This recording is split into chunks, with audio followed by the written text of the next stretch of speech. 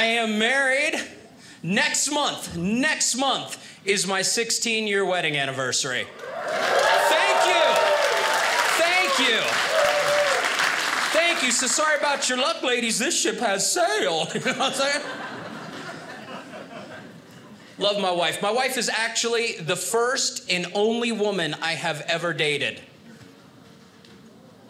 Okay, thanks for making that so weird, everybody. That couldn't have been that couldn't have been any more awkward at all. Just the blank stares. Then as it was silent, one guy in the back goes, "Woo!" Did you hear that guy? I appreciate him trying to fill the silence. Thank you. Thank you, Ric Flair. Woo!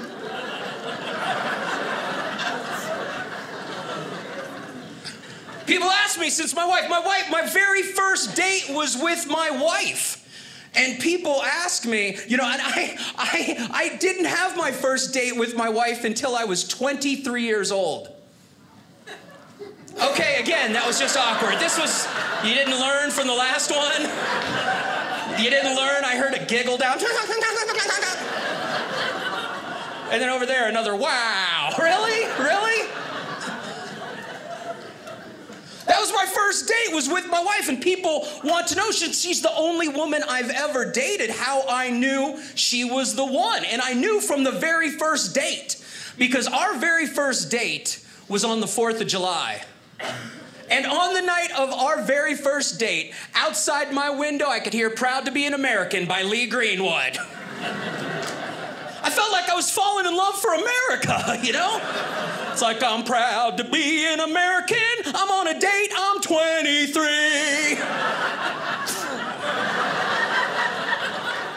My wife's a patriot, that's what I'm getting at. She went out with me, she's a patriot. Fell in love for America.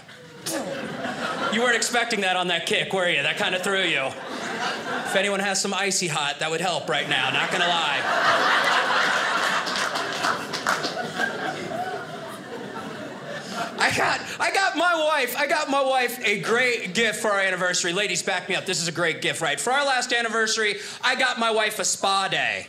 That's nice, right? Nice. Great, the full day. My wife's gift to me was not good at all. Not good at all. My wife actually had a star named after me. Thank you for laughing, you right there. Those of you awing, you're only because it never happened to you. It's not real. It's not a real thing. It's a guy in his basement with a printer. That's what it is. There are people in their backyards going, Ooh, there's Andromeda, the beautiful princess. Uh, oh, and there's Orion, the mighty hunter. Uh, oh, and there's Dan, the gap tooth guy from Ohio. they don't say that. They don't name stars after guys who look like Incrediboy from The Incredibles. That's not.